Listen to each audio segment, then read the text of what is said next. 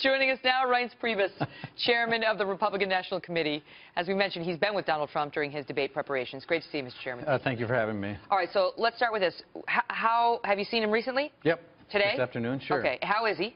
He's great. I mean, he's relaxed. He's doing well. On, he's a little nervous. They, he's You know, only human. He's really not. He's not nervous. Um, but he's getting ready, and, and he's. I think he's going to be. how? What really can you prepared. tell us about it? Um, look, he's studying. He's going through the issues. He's got a good team there, and we're going through particular questions that might come up, and he's handling it, and he's been working on it. It's not like it's something that, you know, just uh, happened the last couple of days. Has been. Does he stand behind a lectern when he does the prep? Sometimes he does. Sometimes he doesn't. Do you throw I the mm-hmm. meanest, most obscene questions you can think of at Sometimes him? we do, and sometimes you just go through policy. It just depends on the day and what's on the schedule. How many um, people does he allow in there? I mean, because too much information can be a bad thing. Sure. I mean, I don't, I don't even know what the number is. I've never really done a head count. But let me just say this. The team is very well prepared. Mm-hmm. The right people are in the room. And I can tell you that Donald Trump's head is in this thing, and he's been consistent, and he's been working hard, and he's got a really good attitude about it. But I can tell you, it's not like he's sitting around wringing his hands nervous. He's pretty calm, cool, and collected. It'll happen tomorrow night because Well- he's, he is a human being. It is. She is a human being. We like to think they're not when they run for president, but they are. And you cannot help but get No. nervous. E- even somebody like me who's in front of millions of people every night. Right. You, before those presidential debates, your heart starts pumping a little faster. Right, and you know, but here's the thing. I mean, sh th- Hillary Clinton's been doing this for almost three decades. Um, she's going to be held to a pretty high standard tomorrow night. The detail, all the things that she's been, you know, she's lived her life around the legislative process. So Donald Trump's an outsider. Um, and they both have different things that I think they need to accomplish. And I think, you know, the burden's going to be on her in a pretty big way. What of this question, which Donald Trump is showing up? You know, Um, is it going to be the more subdued Trump, or do you think he's going to be well, on the attack? I think if you look at the last few weeks, Megyn, you've seen a very measured, on-message Donald Trump who's been doing a fabulous job in laying out policy.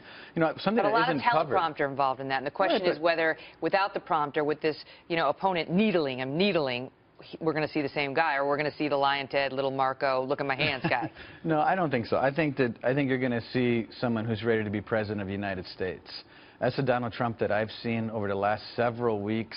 Uh, somebody I think that has really focused in on the general election. I think sometimes too, you go from a primary, and you know the clips were a fond reminder of our primary debates. It's pretty wild stuff. And I think More going fun from for that, some than others. Right, I understand. But you go from that to the general election, and also the gravity of the presidency, Yeah. and, and that f facing you down in the next, what is it, 46 days. I think that, I think that has really uh, come to light to, to Okay, so- Donald Trump, and I think he gets that. So speaking of the gravity of the presidency, what of this dust up about Mark Cuban? She started it by She saying did. she was going to put Mark Cuban in the front row to, Right. you know, sort of antagonize him a bit. And he responded by saying, great, let's do that. I'll put Gennifer Flowers in there. So, and Gennifer Flowers has said she wants to show up. Is she showing up to the debate? Uh, not, she's not showing up through a ticket of our campaign. Uh, I can tell you that. Okay. So but she's look, not gonna be in the But here's row. the thing: they got cute, and then of course, you know, Mark Cuban got pretty smart on Twitter and started needling the campaign, and so this is a brushback. Mm-hmm. And you know, it, it wasn't just like, oh, we'll invite Mark Cuban. It was we're going to invite Mark Cuban. He's going to play games, and so. Uh, the campaign brushed them back, and I think they did a good job brushing them back. And so, Is there any limitation on that sort of mind game that they can play with each other, Well, with their guests? Well, look, I, the, I, but here's what I think is going on, and I, I don't have total clarity on this, but I think that the presidential, de- the Committee on Presidential Debates has made it clear that we're not going to have these kind of shenanigans in the front row, in the screenshot tomorrow night.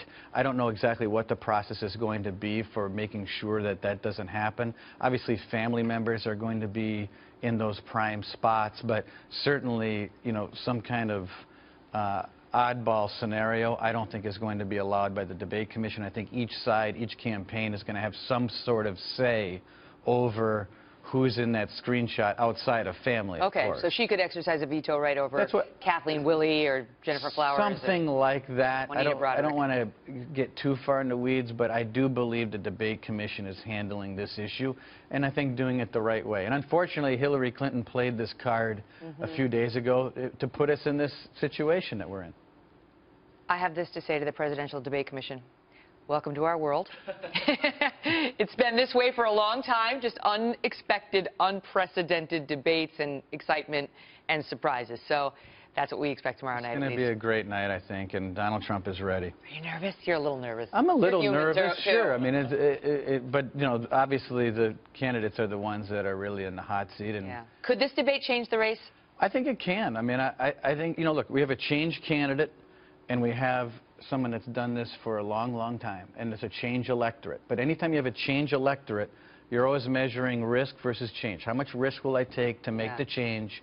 And I think the last few weeks have been great for Donald Trump, and if he continues the approach he's on, which I think he will, and we're proud of what he's been doing, I think he's going to have a great night, and I think it's going to be harder and harder for Hillary. 90 minutes, Hofstra, tomorrow night. This time tomorrow, 24 hours from now, we'll all be watching it. And we'll be watching Ryan's to see if we can see the sweat. Great to gonna see you. Thanks for being here.